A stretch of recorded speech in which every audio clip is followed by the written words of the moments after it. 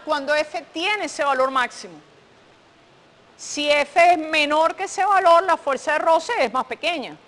¿Ok? Entonces uno no puede poner, cuando escribe la fuerza de roce, automáticamente el valor máximo, porque es errado. Fuerza de roce se acomoda a la fuerza externa. La fuerza de roce es tal, aquí está, vale esto. Solamente el máximo valor que tiene, el que es igual a mu sub s por la normal, y cuidado que es la normal entre ellos, ¿ok? ¿Sí? Sí. En este tipo de problemas. Ok, vamos a hacer otro problema. Fíjense que la fuerza de roce es bien, bien divertida, ¿no? Por, ustedes quizás ahora le ven poco la gracia, pero hay problemas en que la fuerza de roce puede cambiar hasta de dirección. Y ese problema lo vamos a hacer después, que veamos. Imagínense un embudito. Imagínense un embudito que tienen ustedes o algo que está girando. Imagínense algo que está girando y tiene una pelotita encima. Imagínense ese ejercicio. ¿Qué pasa? Imagínense, esto es un ejemplo que vamos a hacer más adelante, pero imagínense, pero para que vean que la fuerza de roce sí realmente es divertida. Imagínense que yo tengo un embudo y tengo una pelotita acá. ¿Qué pasa? Ustedes lo saben. Si el embudito gira muy lento, ¿qué le pasa a la pelotita? O sea, imagínense que tienen el embudito girando y una pelotita. ¿Qué le pasa a la, si es muy lento? La pelotita se cae. Hay un cierto velocidad que uno dice, yo sé que se queda. ¿Y qué pasa si empieza a girar muy rápido? Sube. Y aquí lo que está ocurriendo es justamente la fuerza de roce que está cambiando de dirección ella no cae ni sube debido a la fuerza de roce, no todo lo contrario, la fuerza de roce no le importa, no le gusta el momento relativo. Pero este es un problema en que la fuerza de roce cambia de dirección. Cuando va muy lento, la fuerza de roce no quiere que ella caiga, hacia arriba. Pero cuando va muy rápido, que ella tiende a bajar, la fuerza de roce va hacia abajo.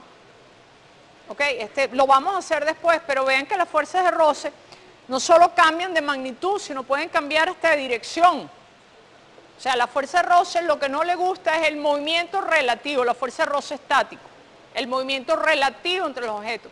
Y ella lo que hace, si tiene que cambiar de dirección, cambia de dirección, siempre oponiéndose a que el objeto se muevan uno respecto al otro. Entonces vamos a hacer otro ejemplo.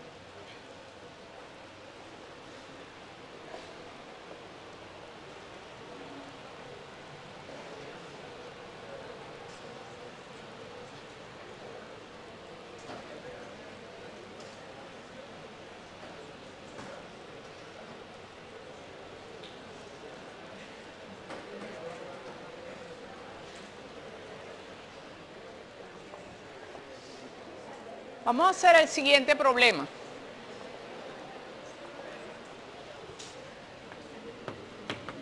Dice, el sistema muestra tres masas o la figura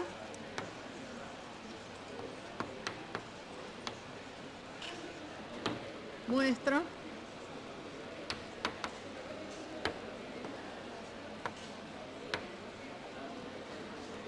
M1 M2 y M3. Unidas por cuerdas ideales que pasan por poleas ideales.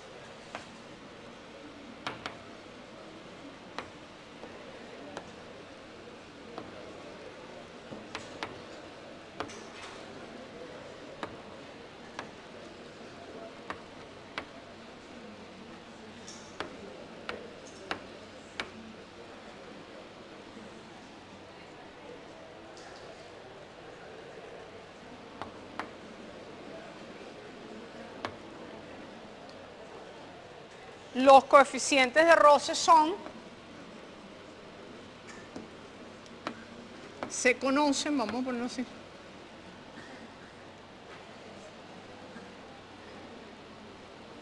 Eh, sub K igual 0.1 entre M1 y la superficie horizontal.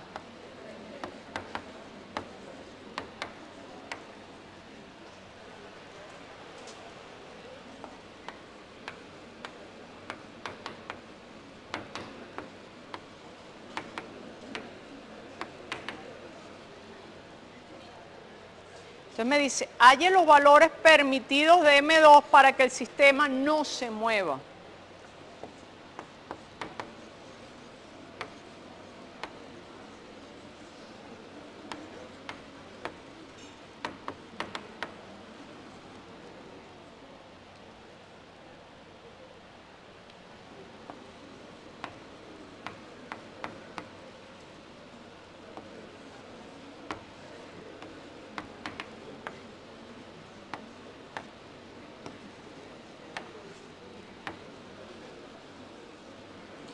Y me dan los datos, M1 la llamo M,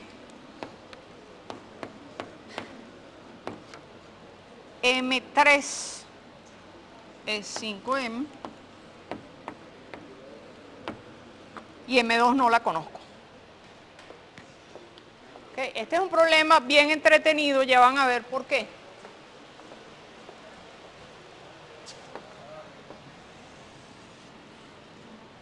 No se entiende, dice. La figura, bueno, vamos a leerlo completo. La figura muestra tres masas, M1, M2 y M3. ¿Ok? Estos son manchas del pizarrón. Unidas por cuerdas ideales que pasan por poleas ideales. Se conocen que mu K es 0.1 y mu S es 0.3 entre M1 y la superficie horizontal. Haya los valores permitidos de M2 para que el sistema no se mueva. Me dicen que M1 tiene un valor que es M y M3 es 5 veces ese valor de M. Entonces lo que tengo aquí una masita M1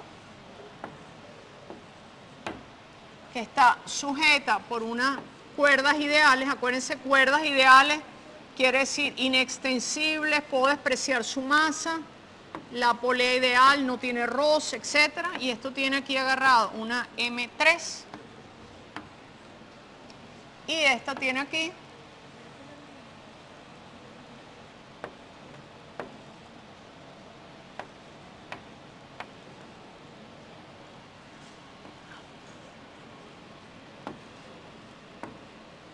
¿De acuerdo? Este es el problema. Tengo tres poleas. Una, perdón, dos poleas y tres masas. Aquí hay roce.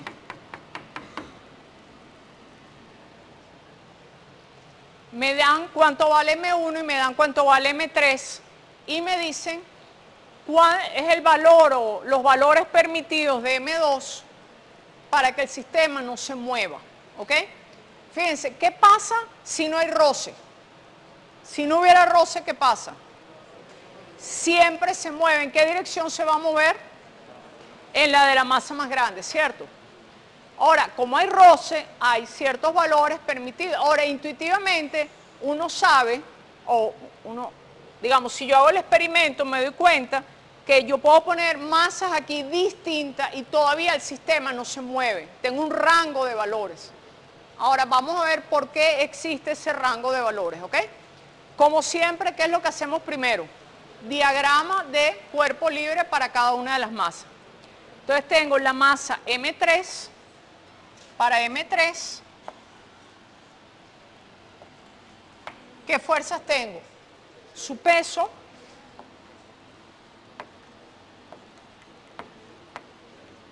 ¿y qué otra fuerza? La tensión que hace la cuerda, ¿cierto? Y la tensión la voy a llamar T3.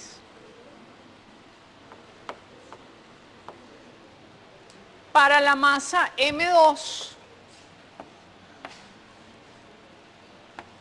¿qué fuerzas tengo? Su peso y la tensión con que la jala la cuerda, T2. ¿Ok? No es igual, no tienen por qué ser igual. Ahora viene eh, la parte entretenida que es M1.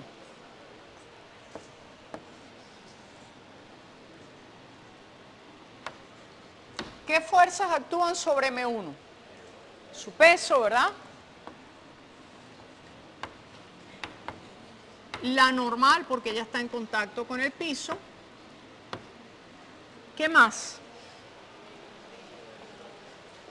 Las tensiones, ¿verdad? Ella está jalando esta con una tensión T3, esta la jala con una tensión igual y opuesta. Entonces está T3 que la jala hacia allá.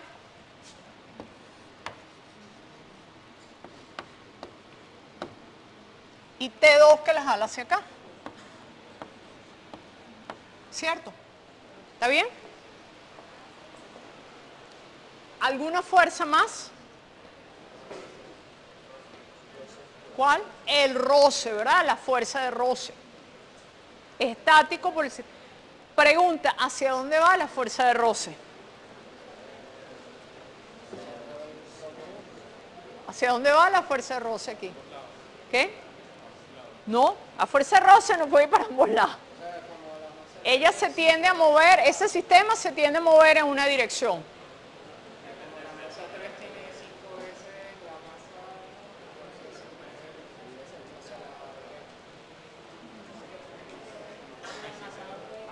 No, la masa 3 tiene 5 veces esta. Si tuviera 5 veces esta, sí, pero M2 yo no sé cuánto vale, puede ser 20 veces la masa M. Fíjense, este es un problema, como muchos problemas ocurren en física, es que yo no sé hacia dónde va la fuerza de roce. Porque ustedes me dirían, ah bueno, si M2, ustedes estoy segura que me dicen, si M2 es mayor que M3, todo este sistema se mueve hacia acá, ¿verdad? ¿Cierto? Y entonces, si M2 fuera mayor que M3, yo sé que el sistema se tendería a mover hacia acá. La fuerza de roce iría hacia allá. Pero si M2 es menor que M3, se tiene que mover al revés. Ahora, el problema justamente es que a mí me piden M2. Entonces, yo no sé cuánto vale M2. Entonces, en estos casos, ¿qué hace uno? ¿Se acuerdan? Uno asume una dirección y dice, y después veo si me da positivo o negativo la cantidad. Si es positiva, quiere decir que está en la dirección que yo quiero, si es negativa, en dirección anterior, ¿de acuerdo? Entonces ahora voy a poner, voy a escribir la fuerza de roce estática en esta dirección. ¿Ok? O sea, en principio, no sé la dirección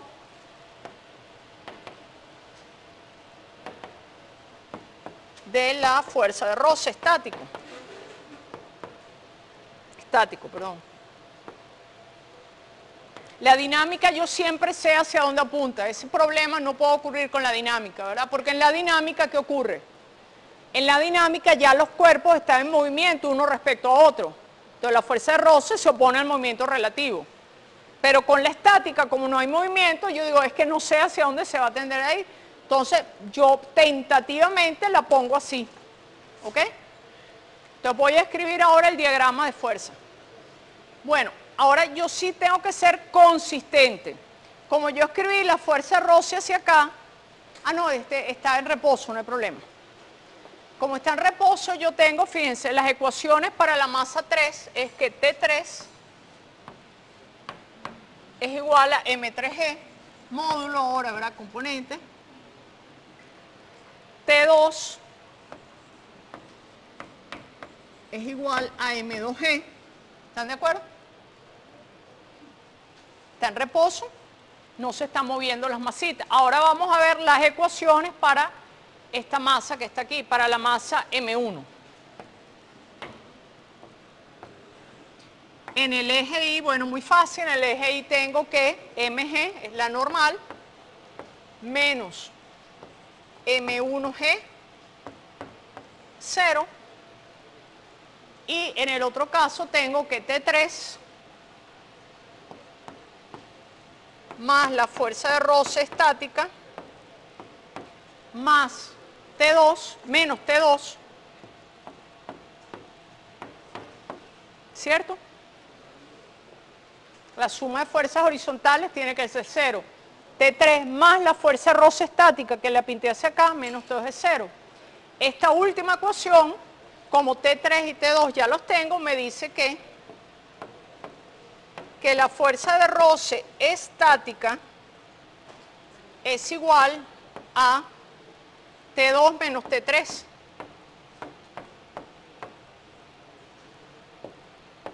Y eso es igual a M2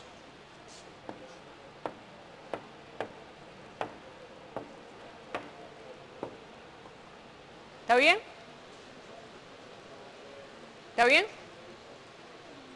O sea, la fuerza de estática es igual a esto. Vamos a ver si tiene sentido.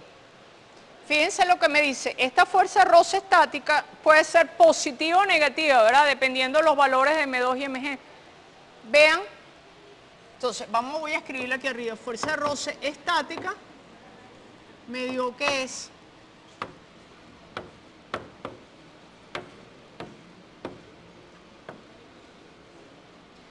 Vean qué pasa. Si M2 es mayor que M3, me da que la fuerza de roce, vamos a ponerlo así. ¿Sí? No hay movimiento, el sistema es estático. El problema es, calculo los valores para que el sistema no se mueva, aquí no hay movimiento. A mí lo que me da es que si M2 es mayor que M3, la fuerza de roce es positiva y apunta hacia acá como yo la dibujé. Pero si M2 es menor que M3, me da negativo, ¿verdad? Y quiere decir que apunta al contrario que yo la dibujé. ¿Están de acuerdo con eso? Bueno, vamos a ver si eso tiene significado físico. Como habíamos visto antes, si M2 es mayor que M3, este sistema se mueve hacia acá, ¿cierto? tiende a moverse hacia acá. ¿Estamos de acuerdo? Entonces la fuerza de roce se opone al movimiento relativo, la fuerza de roce no le gusta que esto se mueva, la fuerza de roce va hacia allá, en el sentido que yo la puse. Está bien, ¿verdad? ¿Qué pasa si M2 es menor que M3? Si M2 es menor que M3, esto tiende a moverse hacia acá, esta masa se mueve hacia acá y la fuerza de roce dice, no, a mí no me gusta que tú te muevas hacia allá respecto al piso crea una fuerza de roce hacia acá. Exactamente lo que me dio, ¿de acuerdo? O sea que yo no tengo que saber de antemano el resultado, me tiene que dar allí. Ahora, el problema es que en este punto yo no sé cuánto vale M2 y M3. Y a mí me dicen, hay los valores permitidos de M2 para que el sistema no se mueva. Entonces, fíjense, aquí hay que tener un poquito cuidado, porque el sistema, hay distintos valores puede haber masas más pequeñas en que el sistema no se mueve y masas más grandes en que el sistema no se mueve. Porque la fuerza de roce puede ir en una dirección o en la otra dependiendo del valor. ¿Ok? Entonces, ¿cómo puedo yo saber resultado? Digo, bueno, déjenme, aquí tengo los valores, M1 es M, M3 es 5M, coeficiente es 0.1